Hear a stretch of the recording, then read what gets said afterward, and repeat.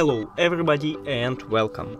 In this video I will show you how to unpair your headphones Creative SenseMore Air from your MacBook.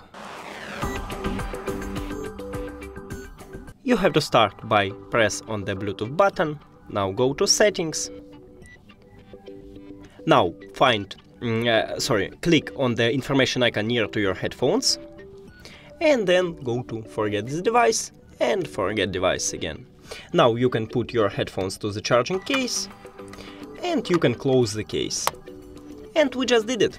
Thank you for watching this video. If you found it helpful, please consider subscribing to channel and leave the like on the video. It's really important to us. See you later!